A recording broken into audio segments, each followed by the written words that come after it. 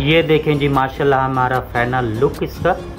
देखें, बहुत ही मज़े का बना है चिकन मसाला रेसिपी आपको अच्छी लगी हो तो लाइक करें शेयर करें कमेंट्स करें। अगर चैनल पे नए हैं तो सब्सक्राइब कर लें ताकि मेरी आने वाली नई वीडियो आप तक पहुँच सके। बसमीम अल्लाम मेरा नाम मोहम्मद नदीम है और आप देख रहे हैं कुकिंग विद नदीम सादे को। उम्मीद करता हूँ आप सब खैरियत होंगे, अल्लाह पाक आपको खुश रखे।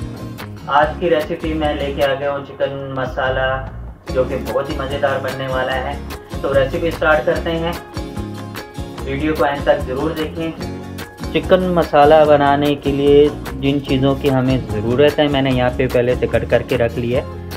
एक के जी मैंने चिकन ले लिया है, अच्छे से वॉश कर लिया है। तीन आदत प्याज हैं मीडियम साइज़ के स्लाइस में कट कर लिया है। दो बड़े साइज़ के टमाटर हैं, मैंने इस तरह से साइज़ में कट कर है ये कुछ हमारे मसाले हैं, कुछ हम पहले डालेंगे, कुछ हम बाद में डालेंगे। तो यहाँ पे लिए है एक खाने का चम्मच लहसुन अदरक का पेस्ट है, खड़े मसाले हैं और ये हमारे स्पाइसेस हैं। एक खाने का चम्मच लाल मिर्च पाउडर है और एक चाय का चम्मच हल्दी है और एक चाय का चम्मच नमक। नमक आप अपने टेस्ट के मुताबिक डाल सकते हैं, कम ज़्यादा जैसे आपको अच्छा लगता है। यहाँ पे हरी मिर्च और धनिया है और ये है हमारे पास जयफल जो है थ्री के हाफ़, आधा चाय का चम्मच है। एक खाने का चम्मच धनिया पाउडर है और हाफ़ चाय का चम्मच काली मिर्च है। तो रेसिपी स्टार्ट करते हैं एंड तक देखिएगा। सबसे पहले हम चिकन मैरिनेशन कर लेंगे। लहसुन, अदरक का पेस्ट डालेंगे। अपने स्पाइसेस डालेंगे।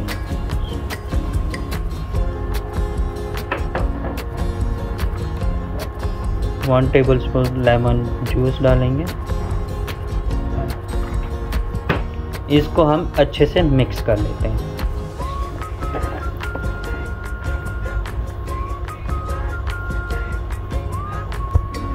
ये देखिए, हमारा चिकन अच्छे से मैरिनेट हो गया है। इस पर मैंने डाला था आधे मसाले डाले हैं, लाल मिर्च पाउडर, हल्दी और नमक। तो जो बाकी मसाले हैं हमारे, वो हम लास्ट में डालेंगे। वीडियो को एंड तक ज़रूर देखें इसमें ऑयल डालेंगे हाफ़ कप अब प्याज डालेंगे।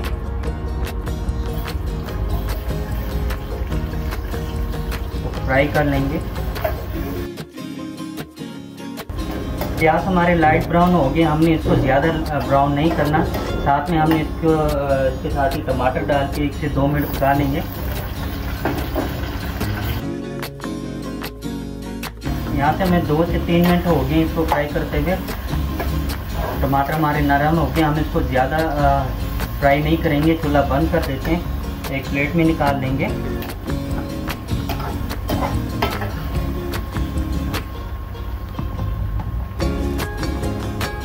तो निकाल के हम इसका पेस्ट बना लेंगे। ऑयल डालेंगे, तीन से चार चम्मच खाने के।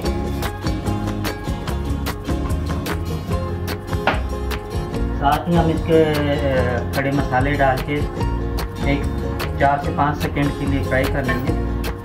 छः सात सेकंड के लिए हमने फ्राई कर लिया। अभी हम इसमें चिकन डालेंगे, जो हमने मैरिनेट किया था। इसको मैंने मैरिनेट करके एक घंटे के लिए छोड़ दिया था। अभी हम ये इसमें डालेंगे।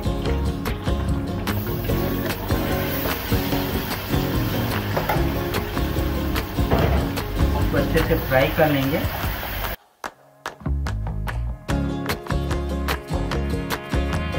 पाँच से छः मिनट हो गया हमें इसकी बुनाई करते हुए।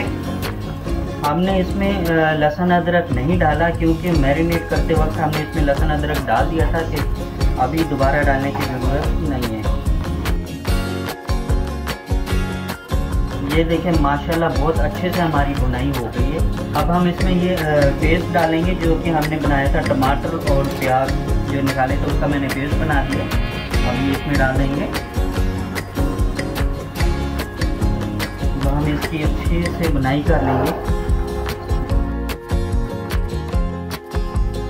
ये देखें, यहाँ पे हमें तकरीबन इसको 10 से 15 मिनट हो गए बुनाई करते हुए। अभी जो है, हम इसमें दही डालेंगे, तीन खाने के चम्मच। और इसके साथ ही जो हमने मसाले रखे थे लास्ट में एक खाने का चम्मच धनिया पाउडर है, और जयफल जवेत्री का पाउडर है, और काली मिर्च का पाउडर ये डाल के इसकी अच्छे से बुनाई कर लेंगे।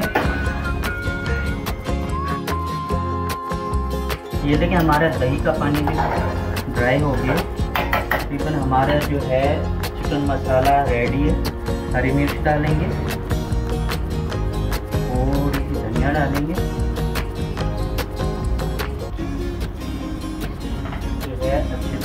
कर लेंगे।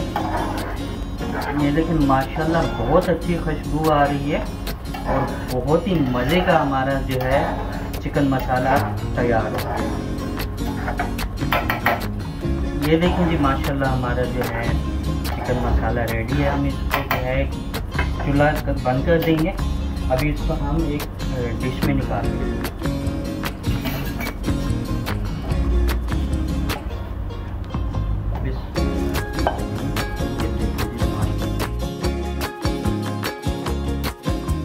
ये देखें जी, माशाल्लाह हमारा फाइनल लुक इसका। देखें, बहुत ही मज़े का बना है चिकन मसाला रेसिपी आपको अच्छी लगी हो तो लाइक करें शेयर करें कमेंट्स करें। अगर चैनल पे नए हैं तो सब्सक्राइब कर लें ताकि मेरी आने वाली नई वीडियो आप तक पहुँच सके। दुआओं में याद रखें। अल्लाह हाफिज़। रेसिपी ये रेसिपी ज़रूर ट्राई कीजिएगा, बहुत ही मज़े का बनता है। और दुआ में याद रखें खुश रहें अल्लाह हाफिज़।